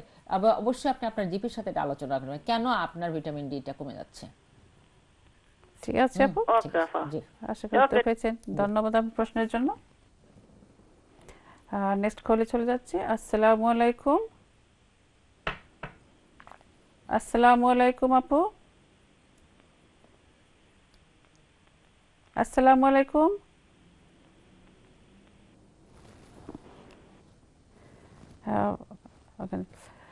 আসসালামু আলাইকুম। আসসালামু আলাইকুম। ওয়ালাইকুম আসসালাম। জি আমি স্টুডিও মাতিয়া স্টুডিও জি জি আপনি স্টুডিওতে আছেন আচ্ছা আচ্ছা আমি ফাতেমা আপার সাথে বান- উনি শুনতে আমি শুনতে পাচ্ছি আপনি বলুন বলুন আপনি জি জি আসসালামু আলাইকুম ওয়ালাইকুম সালাম জি আমার আমার এক কফ আমি খুব কষ্ট পাই আর এক বছর ধরে আমার কফ কোনো লাহান যান না কলকাতান কিটা করতাম পারি আপা হুম, আপনার কফ কমতেছে তারা কি কোনো বলছে এটা অ্যালার্জির জন্য হচ্ছে? জি না এক্স রে এক্স রে কালকে একটা টেস্ট আছে গতকালকে আর এক্স হইছে তারা কিচ্ছু পায় না বুঝছেন আজমা আছে আমার অ্যাজমা থাকলে অ্যাজমা থেকে কিন্তু কফ হয় সেটা জানেন আপনি জি অ্যাজমা থেকে কফ হয় তবে আপনি তবে ইনহেলার ইউজ করিয়া ইনহেলার ইউজ করতেছেন ইনহেলার ইউজ করলে কফ কমে কম থাকে জি জি না কমেন না এই ধরে বেশি হয়ে গেছে বুঝছেন না? আমি বলি যে আপনি ইনহেলার যখন ব্যবহার করেন ইনহেলার যখন মাঝে মাঝে পড়তে আমার খুব কষ্ট লাগে বুঝছেন হুম আপনি আপনার জিপির কাছে যাবেন যে বলবেন যে আপনার কফের জন্য হয়তো খুব সম্ভবত এটা অ্যালার্জিক কারণ হচ্ছে অ্যালার্জির কিছু ওষুধ দেওয়ার জন্য। জি। অ্যালার্জির কিছু ওষুধ আছে যে ওষুধগুলো খেলে যেমন এভিল রিটার্ড এভিল রিটার্ড যদি খান তাহলে হয়তো এই কফটা কমে যাবে। আপনি যে আপনার জিপিকে বলবেন যে এভিল রিটার্ড জি আচ্ছা। হুম এভিল রিটার্ড দেওয়ার জন্য বলবেন। জি আচ্ছা ধন্যবাদ আচ্ছা ধন্যবাদ প্রশ্নের জন্য। জি ইনশাল্লাহ। Is there discussion? Okay. আহ, তাহলে আমরা ডিসকাশনে চলে যাই। আপু এখন আর কল নাই। তো আমরা যে আলাপের মধ্যে ছিলাম সেটা হচ্ছে যে নিউট্রিশন নিয়ে। যে এখানে দেখলেন যে কেউ বলছে আমার vitamin D short vitamin D থেকে সে কিন্তু বিভিন্ন ধরনের হা- হাড়গুলোর তো অসুবিধা হবে তার সাথে যে ডিপ্রেশন একটা কারণ। ডিপ্রেশনের কারণ একটা আছে হয়ে যেতে পারে। তো এই জন্য বলছিলাম আরেকটা জিনিস খাওয়া দাওয়ার সাথে সাথে তাকে অবশ্যই এক্সারসাইজটা বজায় রাখতে হবে। হুম। এক্সারসাইজ আমরা মনে করি খেলাম দিলাম কিন্তু আর কিছুর বোধহয় প্রয়োজন না। সবগুলি দরকার। এক্সারসাইজ একটা দরকার। সাধারণত এক্সারসাইজ বলতে যদি আপনি নিজে এমনি এক্সারসাইজ না করেন, তাহলে কি করবেন? আপনি হাঁটাহাঁটি করেন সুইমিং করেন বা হাঁটাহাঁটি করলেই যথেষ্ট বা এক্সারসাইজ করেন। যেভাবে একটা একটা কোনো না কোনোভাবে আপনাকে মানে শরীরটাকে নড়াচড়া করতে হবে। তার সুবিধা কি? কারণ যখন আপনি এক্সারসাইজ করেন যখন আপনি হাঁটাহাঁটি করেন কাজ করেন তখন হয় কি আপনার শরীরের মধ্যে এক ধরনের নিউরো ট্রান্সমিটার রিলিজ করে বডির থেকে। সেই নিউরো ট্রান্সমিটারের মধ্যে একটা আছে যেমন সেটা হচ্ছে এই নিউরোট্রান্সমিটার কি করে? সেল রিপেয়ার করে। কারণ সবসময় আমাদের শরীরে ছোট ছোট সেল আছে। মিলিয়ন বিলিয়ন বিলিয়ন সেল আমাদের শরীরের মধ্যে আছে। ছোট আমরা খালি চোখে দেখি না সেইগুলো রিপেয়ার করতে সাহায্য করে। আরেকটা করে সেরোটোনিন রিলিজ হয় যে সেরোটোনিনটা কি করে আপনি যে সবসময় একটা স্ট্রেসের মধ্যে আছেন আমরা কিন্তু আজকাল খুব স্ট্রেসের মধ্যে এই সেরোটোনিনের স্ট্রেসটাকে কমায়। সেরোটোনিন রিলিজ যদি হয় তাহলে এটা কমে। যত বেশি সেরোটোনিন থাকবে তত বেশি স্ট্রেস কমবে। অ্যান্ডোরফিন এন্ডোরফিন বলে আরেকটা হরমোন রিলিজ হয়। সেই এন্ডোরফিন রিলিফিনটাকে হ্যাপি হরমোন বলে এটাকে। আপনি যখন এটা আপনার শরীরের মধ্যে আসবে হ্যাপিনেস থাকবে তখন আপনি পেইন ফিল করবেন না। অনেকেই বলে থাকেন আমার ব্যথা করে শরীর ব্যথা করে। আসলে কিন্তু ব্যথা নাই কিন্তু। ওরকম কোনো ব্যথা পাচ্ছেন ডাক্তার খুঁজে পায় না কিন্তু উনি পেইন ফিল ঠিক করতেছেন। বিকজ ওনার এন্ডোরফিনটা রিলিজ কম হচ্ছে। আচ্ছা। ধন্যবাদ আপু। একটা কল আসছে আমরা কল নিয়ে নিই। আসসালামু আলাইকুম। ওয়া- ওয়ালাইকুম আসসালাম। জি আপু আপনি স্মৃতি তো এই যে আছেন? আমি আমি ফোন করলাম। ওই যে আমার যে বললাম যে প্রস্রাবে যে বারবার ইনফেকশন হইতেছে যে আমার ইনফেকশন দুইটা ওষুধ মানে দিছিলাম তো আট ঘণ্টা পর খাই ফেলছি কিন্তু আমার তো প্রস্রাবের জ্বালাপোড়া কমে নাই এমনি কি এটা কি কোনো অসুবিধে? আর আমি কি চা কফি খাইতে পারব? আচ্ছা। আর আমি যদি আবার ডাক্তার কাছে যাই, তা আবার ওকে আবার অ্যান্টিবায়োটিক দিবেন কোনো অসুবিধা হবে নাকি প্রস্রাবের কোনো আচ্ছা সমস্যা? আচ্ছা এইটাই। আমি বলি। আপনি চা আর কফি খাবেন না। চা কফি খেলে আরও ঘন ঘন প্রস্রাব হয়। এটাতে আরও উম, সমস্যা বাড়তে পারে। সেটা আপনি চা কফি আপাতত খাবেন না। আর যেটা হলো আপনি ডাক্তারের কাছে অবশ্যই যাবেন। আপনার এই এই অ্যান্টিবায়োটিক কাজ হয় না যেটা দেওয়া হয়েছে তা কাজ না সুতরাং ওরা আবারও হয়তো নতুন কোনো অ্যান্টিবায়োটিক দিবেন। নতুন কিছু। নতুন যেটা দিবেন সেটা আপনার নিয়ম অনুসারে যে টাইমিং যেভাবে দেওয়া থাকবে সেভাবে খাবেন। অনেক সময় হয় কি, এটা দিতে পারেন এটা তো যদি কমে যায়, কমবে ইনশাল্লাহ। আর যদি কমে যায়, তাতে ভালো কথা, না কমলে হয়তো ওরা লং টার্ম হয়তো একটা বা একটা ডেইলি একটা অ্যান্টিবায়োটিক দিয়ে মাস খানিক পর্যন্ত রেখে দিতে পারে আপনাকে। অসুবিধা নাই তাতে, আপনার ভয়ের কিছু নেই, আপনি এটা খান। আর পানি বেশি করে, আর তারপরে যদি না কমে, অবশ্যই আপনি এই বাই দিস টাইম আপনার জিপিকে বলবেন যে আমাকে তুমি কোনো স্পেশালিস্টের কাছে পাঠাও। তো স্পেশাল কেসে একটা যদি থাকে সেখানে আরও বেশি বেশি আপনার পরীক্ষা নিরীক্ষা করার সুযোগ সুবিধা থাকে। তো ওইটা আপনি একটা একটা রেফারেল নিয়ে নেবেন তার কাছ থেকে আর বাই দিস টাইমে ওষুধটা খাবেন। আর পানি বেশি করে খাবেন। ঠিক- আছে? ঠিক আছে আপু। ইনশাল্লাহ আর আল্লাহর কাছে দোয়া করতে থাকেন। আল্লাহ না কমালে কেউ কিছু কমাতে পারবে না কিন্তু। আমরা কিন্তু আল্লাহর পর তাওয়াক্কুল করে আল্লাহর কাছে আল্লাহ যে ওষুধটা খাচ্ছি এই ওষুধ তো খাচ্ছি আমি কিন্তু এটা তুমি কমানোর মালিক তুমি কমিয়ে দাও। ধন্যবাদ আপু আশা করি আপনি আহ, আপু একটা কল আছে আমরা কল নিয়ে নিই? আসসালামু আলাইকুম। হ্যালো আসসালামু আলাইকুম। ওয়ালাইকুম আসসালাম ভালো। আপনারা ভালো আছেন সবাই? আলহামদুলিল্লাহ আপু। আপনার কোন প্রশ্ন আছে আপু? একটু কথা বলব আর আপনাদের অনুষ্ঠানের মাধ্যমে আমরা অনেক আদেশ পাই আমরা অনেক উপকৃত হইলাম সবকিছু। ধন্যবাদ আপু। আমার একটা কোয়েকশন আপনার কাছে আমার হাই ব্লাড প্রেশার আর এর মধ্যে আমি কীভাবে খাওয়া দাওয়ার ব্যাপারে কতটুকু মেনটেন করতে হইব? আর কতদিন পর পর মানে প্রেশারটা চেক আপ করলে ভালো হয়? আবার যদি একটু বলে দেন। কতদিন পর পর? প্রেশারটা চেক করলে ভালো হবে। আচ্ছা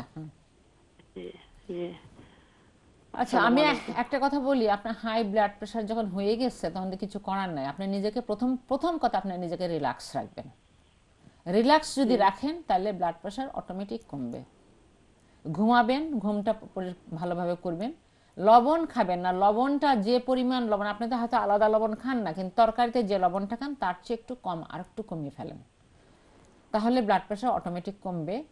আর ওষুধ ব্লাড প্রেশার যে ওষুধ ডাক্তার দিয়েছেন সেটা আপনার রেগুলার খেতে হবে। একটা ফিক্সড টাইমে খাবেন। রাতে যদি খান রাতে ওই টাইমে রাতে খাবেন বা সকালে যদি খান সকালে ওই টাইমে খাবেন। একদিন সকালে একদিন রাতে এরকম। করে খাবেন না হুম।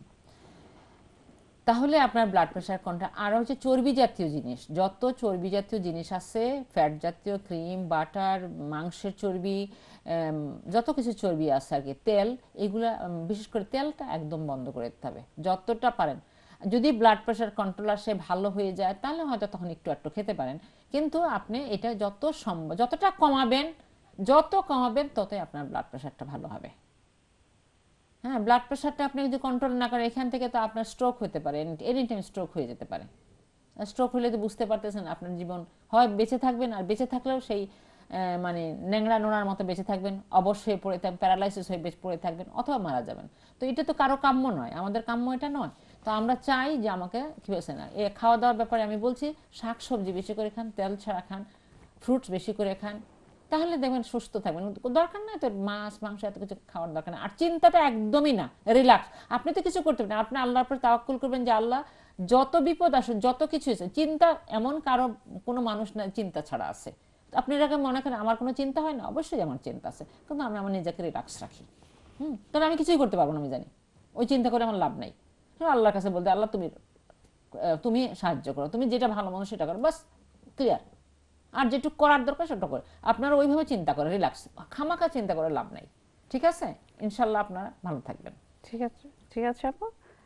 ধন্যবাদ আমার প্রশ্নের জন্য। আমরা পরবর্তী কলে চলে যাচ্ছি। আসসালামু আলাইকুম। ওয়ালাইকুম সালাম। আসসালামু আলাইকুম। ওয়ালাইকুম সালাম। ভালো আছেন আপনারা? আলহামদুলিল্লাহ আপু। জি আচ্ছা আমার একটা কোয়েশ্চন হইল আর কি।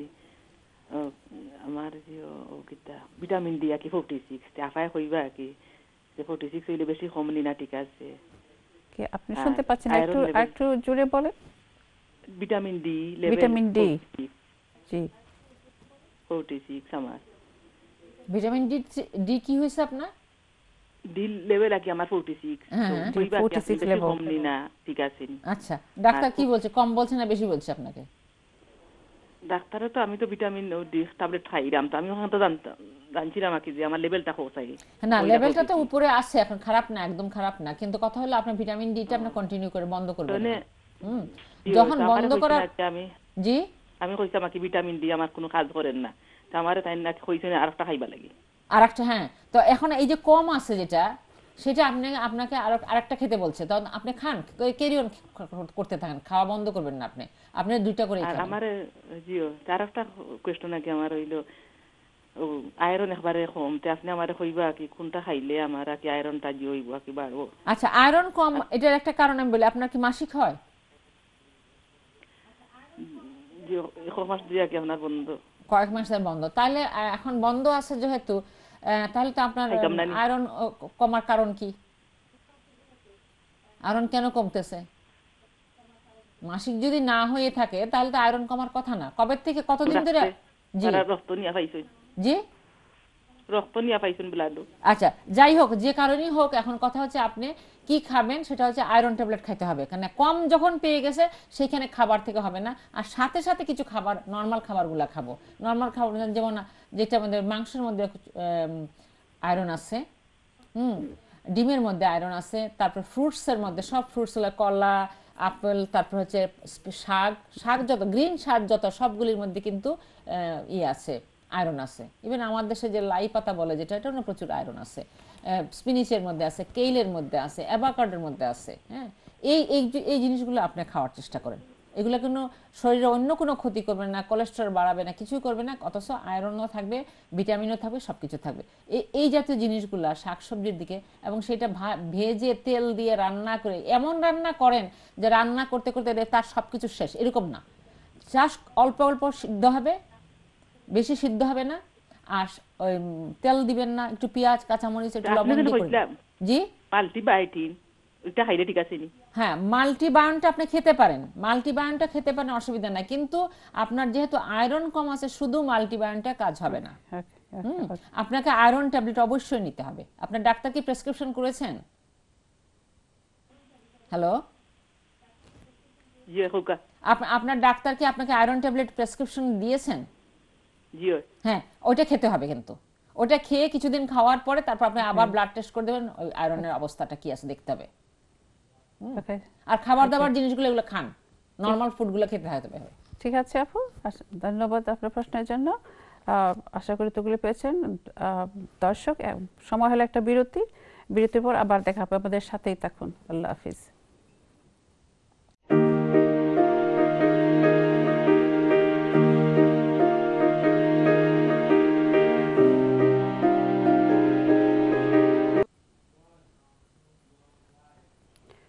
আসসালামু আলাইকুম। আবার আমন্ত্রণ জানাচ্ছি সিস্টার্স বিউ প্রোগ্রাম থেকে। আমি আপনাদের সাথে আছি সাইদা খাদিজ ফাতেমা আর আমাদের সাথে আছেন ডক্টর ফাতেমা আপু, আমাদের নিয়মিত গেস্ট আজকের যে টপিকটা নিয়ে আমরা আলোচনা ছিলাম, সেটা হচ্ছে নিউট্রিশন তার আগে আমরা একটা খোল নিতেছিলাম এখন আবার আমরা আলোচনা এখন আমরা এখন আবার আমরা একটা খোল নিব। আসসালামু আলাইকুম। সালাম আমি ডাক্তার হরসিন খাইতে জি বলেন আপনি শুনতে পাচ্ছেন।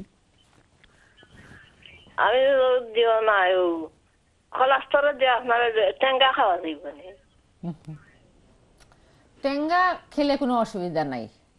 আপনার যদি গ্যাস অ্যাসিডিটি না থাকে গ্যাস্ট্রিকের সমস্যা না থাকে বেশি তাহলে আপনি টক খাবেন খান অসুবিধা কি? অসুবিধা নাই।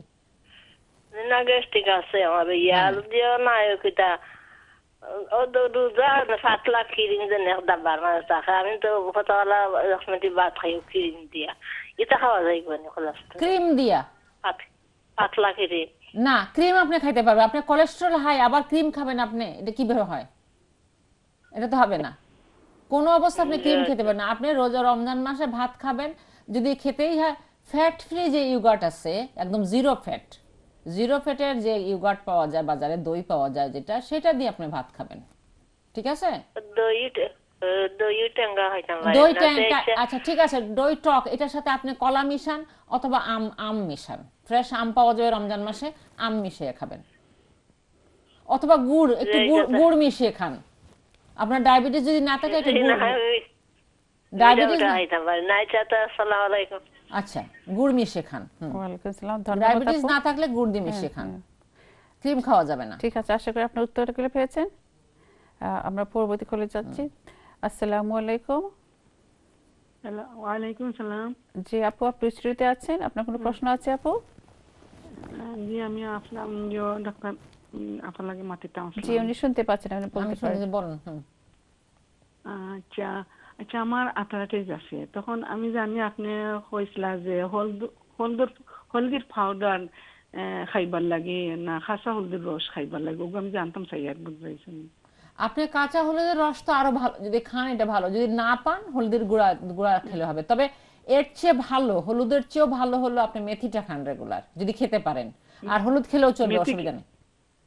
মেথি মেথিটা জাল দিয়ে পানি খাবেন। পানি জাল দিয়ে বা ভিজে সারা রাত ভিজে পানি খেলেও চলবে অথবা ওটা জাল দিলে যে পানি হয় কতগুলো মেথি আপনি দিয়ে জাল দিলেই চায়ের মতো হলো ওইটাও খেতে পারেন ঠান্ডা করে ওইটাও খেতে পারেন অসুবিধা নাই। বা গরমও কি কি জিনিস খাওয়া ভালো?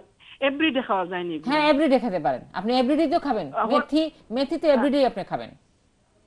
আর পাউডার মেথি আদা আদাটাও খাবেন হ্যাঁ জি। আর হলদি পাউডার নানি হ্যাঁ হলদি পাউডার মাঝে মাঝে খাবেন। হলদি পাউডার প্রতিদিন কি খাওয়া যাবে? মাঝে মাঝে খাবেন। মাঝে মাঝে খাওয়া যাবে। আর- যে মেথি আর আদা। এভরিডে খাওয়া যাবে এভরিডে খাবেন জি। এভরিডে খাওয়া যায়। জি আর খানির মাঝে কোনো জিনিস আছে নি খাইলে যে আতরারিজর হ্যাঁ এটা তো আছে আপনি যে এই যে আমি বললাম যে শাকসবজির মধ্যে স্পিনিচ আছে বাঁধাকপি আছে বাসেল স্প্রাউট আছে তারপরে কলিফ্লাওয়ার আছে এই ধরনের ব্রকলি ব্রকলিটা আর্থাইটিস জন্য খুব ভালো। এই ধরনের সবজিগুলো আপনারা খাবেন। পাতালতা বেশি খাবেন এগুলো। সবুজ শাকসবজিগুলা স্বাস্থ্যের জন্য খুবই ভালো আর্থাইটিস জন্য খুবই ভালো। ঠিক আছে? আপু? আশা করি আপনি উত্তরগুলো পেয়েছেন। ধন্যবাদ আপু। আমরা নেক্সট কলে চলে যাচ্ছি। আসসালামু আলাইকুম। আসসালামু আলাইকুম। ওয়ালাইকুম সালাম। আপু আপনি স্টুডিওতে আছেন? ভালো আছেন আপু? আপনারা সব জি। জি আপু আমি ফাতেমা আপুর নম্বরটা পেয়েছিলাম যদি একটু দয়া করে দিতেন উপকৃত হতাম আপনি শুধু নাম্বারটা চেয়েছেন না? ফাইন ঠিক আছে। আমরা পরবর্তী কলে চলে যাচ্ছি। আসসালামু আলাইকুম। আসসালামু আলাইকুম।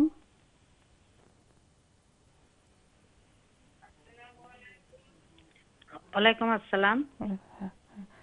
আসসালামু আলাইকুম আপনি স্টুডিওতে আছেন? বল। ও হ্যাঁ আমি একটু ওই যে ম্যাডামের সাথে কথা বলতে চাই আমি এর আগে ফোন করছি। আচ্ছা আমার তো প্রস্রাবে ইনফেকশন আমি কি ভ্যাকসিন ইনজেকশন নিতে পারব? আমি এবার একটু উমরা যাইতেছি। জি আবার একটু বলুন তো কি বলছেন? ও আমার তো প্রস্রাবে ইনফেকশন তা অ্যান্টিবায়োটিক খাইছে আমার তো কাজ হয় নাই তাই আমি কি ভ্যাকসিন ইনজেকশনটা নিতে পারব কিনা? ওই যে সৌদি আরব যাইতেছি উমরা করতে। হ্যাঁ ওমরা করতে হ্যাঁ নিতে পারবেন ওটার সাথে কোনো অসুবিধা নাই। ও তাহলে ইনফেকশনে কোনো অসুবিধা না নাই? এটা কোনো অসুবিধা নেই।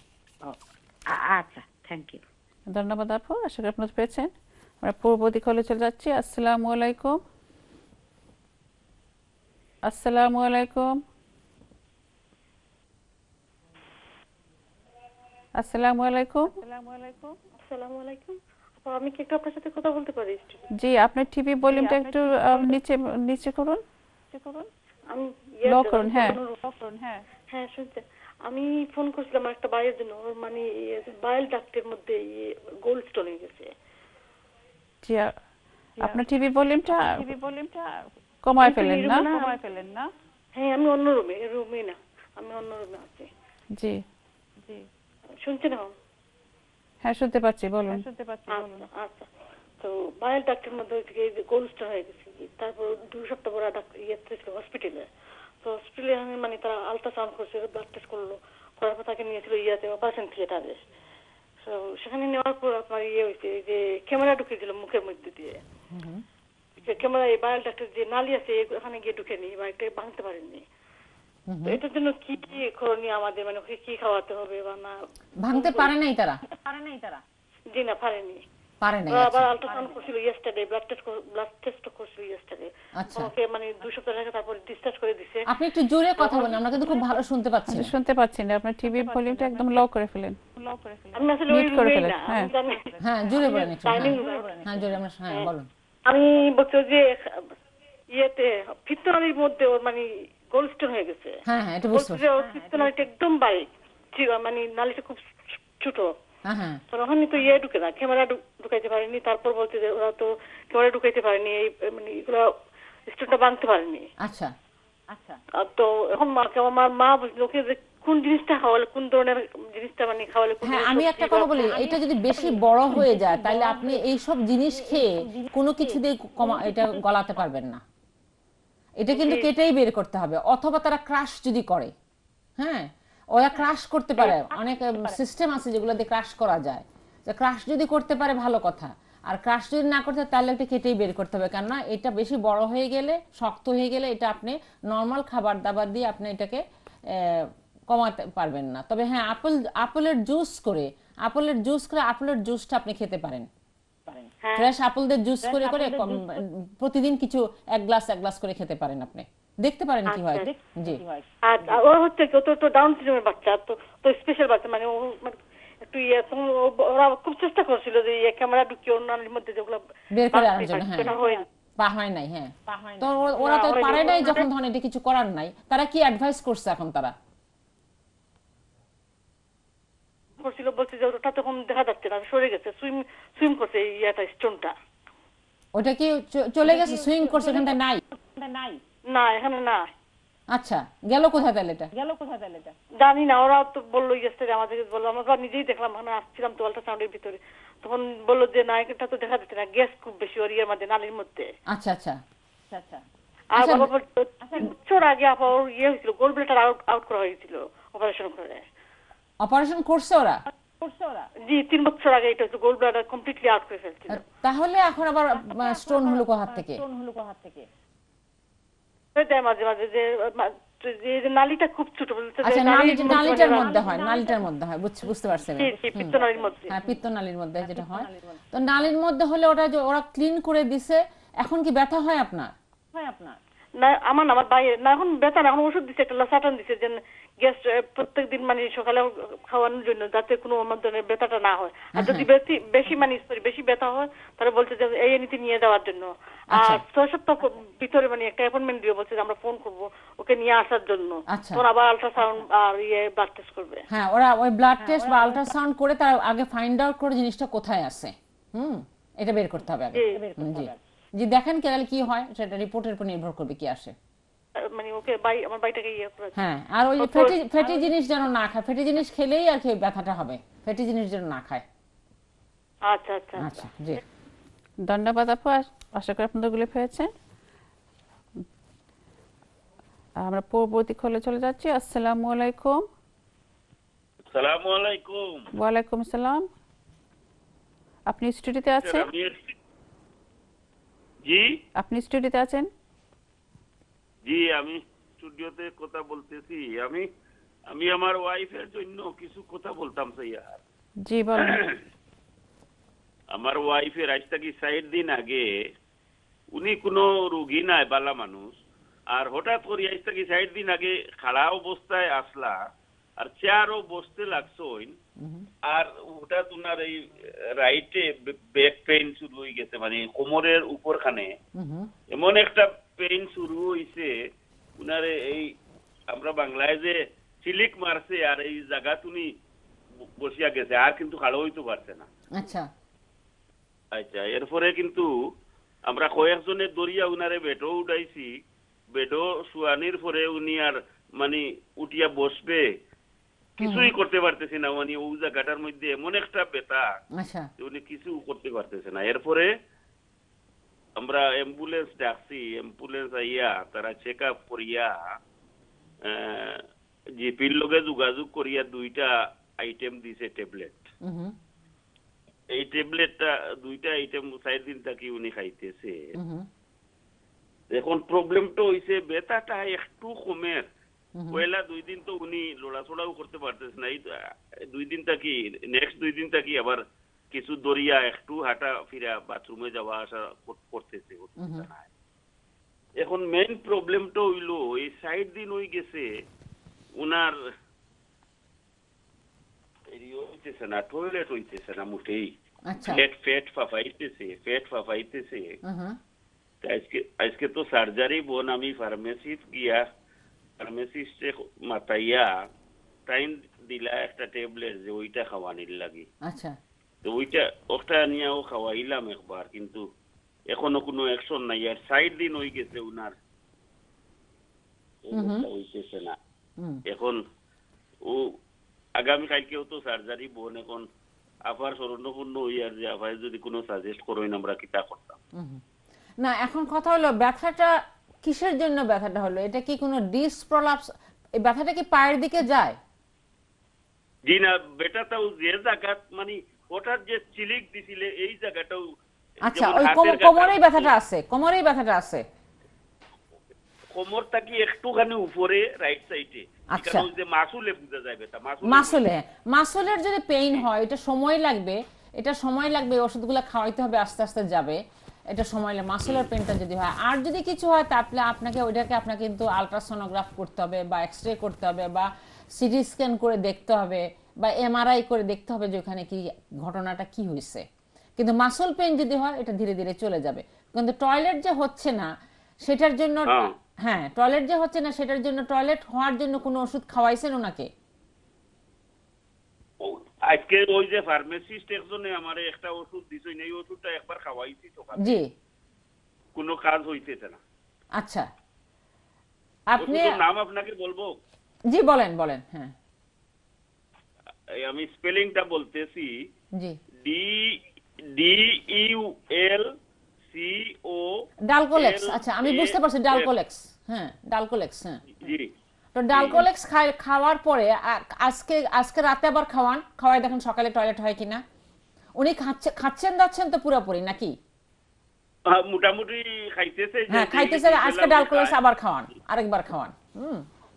ডালকোলেক্স আবার খাওয়ান তাহলে দেখবেন ইনশাল্লাহ হবে হ্যাঁ। আর পানি যেন একটু বেশি আচ্ছা, খান পানি যদি একটু বেশি খায়। আরেকটা কাজ করতে পারেন আপনি সাথে। Olive oil extra extra virgin olive oil যেটা আছে সেটা এক চা চা- এক চামচ না চা চামচে দুই চামচ খাওয়াই দেন তাকে রাত্রিবেলা। অলিভ অয়েলটা আচ্ছা। হুম দুই চা চামচ খেয়ে খেতে বলেন ওনাকে। ঠিক আছে? ওকে ওকে ঠিক আছে ধন্যবাদ প্রশ্নের জন্য। আমরা নেক্সট কলে চলে যাচ্ছি। আসসালামু আলাইকুম। হ্যালো আসসালামু আলাইকুম। ওয়ালাইকুম আসসালাম। আপনারা হ্যালো শুনতে পাচ্ছি ভালো আপু হ্যাঁ। আপনারা ভালো আছেন তো আপনারা? আলহামদুলিল্লাহ আপু। আমি আপা ফাতিমা আপুকে জানতে চাই কিছুক্ষণ আগে উনি বললেন মেথি খেয়ে জাল দিয়ে খেতে। তো আরেক প্রোগ্রামে উনি বলেছিলেন বোধ হয় মেথিকে হোল নাইট ভিজিয়ে রেখে তারপরে ওইটার পানি খাওয়া। এখন আমারও অথরাইটিস আছে কোন ওয়েতে খাব? নাম্বার ওয়ান নাম্বার টু হলো এইটা থেকে আমার ডায়াবেটিক্স এর কোনো প্রবলেম হবে? কারণ আমার ডায়াবেটিক্স আছে অথরাইটিস আছে। তো অথরাইটিস এর জন্য উনি বলছিলেন সবজি broccoli which is boil broccoli maybe তো বয়েল ব্রোকলি আর মেথির পানি বলেছেন। এখন মেথির পানি সিদ্ধ করে নাকি হোল নাইট ভিজিয়ে খাব? এটা একটু যদি বলে হ্যাঁ আমি বলছি আপনি ভিজিয়ে খেলেও চলবে সিদ্ধ করেও খেলবে। যা মনে করেন তাড়াহুড়ো আপনার আছে। আপনি এখন খাবেন তখন হয়তো বয়েল করে এটা খেতে পারেন। আর যদি আগের রাত্রে ভিজিয়ে রাখেন তাতেও হবে। দুইটাই কাজ করবে আপনার। আর এটা ডায়াবেটিসের কোনো ক্ষতি করবে না আপনার। ডায়াবেটিসের বরং ভালো করবে। ক্ষতি তো করবেই না। হুম। আচ্ছা তো মেথির পানিগুলি যদি সিদ্ধ করে জাল দিয়ে সিদ্ধ করে ফ্রিজে রেখে দিতে পারি? হ্যাঁ তাও পারেন আপনি। তাও রাখতে আচ্ছা। পারেন। একদিন একদিন দুই দিনের বেশি রাখা যাবে না নরমাল ফ্রিজে দুই দিন রাখতে পারবেন। হ্যাঁ। আচ্ছা। জাজাকাল্লাহ আচ্ছা, আপা। আচ্ছা, হ্যাঁ। ভালো। ধন্যবাদ আপু আপনার প্রশ্ন আমরা নেক্সট কলে চলে যাচ্ছি। আসসালামু আলাইকুম। আসসালামু আলাইকুম। হ্যালো আসসালামু আলাইকুম। ওয়ালাইকুম আসসালাম আপু। আপনি স্টুডিওতে আছেন? আমি আমি কয়েকদিন ট্রাই করছি পাইছি না। আমি ডক্টর ফাতেমা আপুর সাথে কথা বলতে চাই। সে উনি শুনতে পাচ্ছেন আপনি বলুন। আচ্ছা আমার ফাওয়ের ডাইন ফাওয়ের হিলের মধ্যে বেদনা করে। তে পাঁচ বছর আগে আমার স্পেলিস্টিস হসপিটালে ইনজেকশন দেওয়ার পরে পাঁচ বছর আমার কমছিল এখন আবার এই এক বছর হয়ে গেছে বেতা বেতাতে ডিসেম্বর আবার ইনজেকশন দিছে। এটা এটা আমি কোনো ফায়দা পাইছি না। এখন আমি চিন্তা করতাম পারি এটার লাগি। আচ্ছা আমি বলি শুনেন আপনি দুইবার ইনজেকশন অলরেডি নিছেন। আরেকবার ইনজেকশন আপনি নিতে পারেন। কিন্তু আপনার ডাক্তারই বলে দিবেন যে ইনজেকশন দেওয়া যাবে কি যাবে না। যদি পায়ের পাতা পাতলা হয়ে যায় আপনাকে আর ইনজেকশন দেওয়া হবে না। কেননা এই ইনজেকশন যেমন একটা ব্যথা কমায় সাথে সাথে আর একটু অসুবিধাও আছে সাইড এফেক্টও আছে। যদি পাতলা না হয় তাহলে হয়তো আরেকবার দিবেন আপনার জিপি হয়তো দিয়ে দিবেন। আর যদি পাতলা হয়ে যায় তো দিবেন না। সেখানে আপনার কিছুই করার নাই। সেখানে আপনি কিছু এক্সারসাইজ আছে আপনি সিঁড়িতে দাঁড়িয়ে পাটা নিচে নামানো উঠানো পাটা সিঁড়ির মধ্যে দাঁড়িয়ে পা হিলটা সিঁড়ির বাহিরে রাখবেন এবং পা নিচের দিকে নিবেন ঝুলবেন আবার উপর দিকে এই ধরনের একটা এক্সারসাইজ আছে করা যায়। আপনাকে ফিজিওথেরাপিস্টের কাছে গেলেও সেটা দেখিয়ে দিবে। আর আরেকটা কথা হলো আপনি আপনার জুতার পরিবর্তন করতে হবে। জুতাটা পরতে হবে সফট বাসার যে স্যান্ডেল পরেন সফট জি আপা আমি হ্যাঁ। সব জুতা আমি পরি আজকে তো পাঁচ ছয় বছর ধরে হ্যাঁ আপনাকে এটাই পরে কাভার করতে আপনি পাকার মধ্যে সলিড জায়গার মধ্যে আপনি দাঁড়াতে পারেন। দাঁড়াতে পারলেই আপনার হাইলের মধ্যে ব্যথা হবে।